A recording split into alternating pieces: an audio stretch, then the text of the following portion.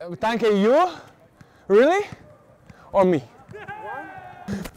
Ah, mamma mia, I can't. Just a little.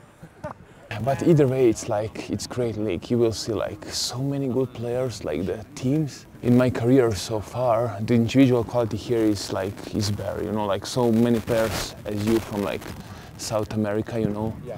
like Mexicans, Brazilians, Argentinians. So in Croatia, we didn't have like the conditions to even to train. We were training like 25 guys. I mean, behind the goal.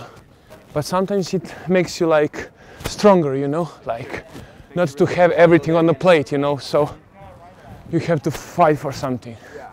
Yeah. Danke. Oh! Ah! Danke. Yeah. Well done. It's a good warm up, huh?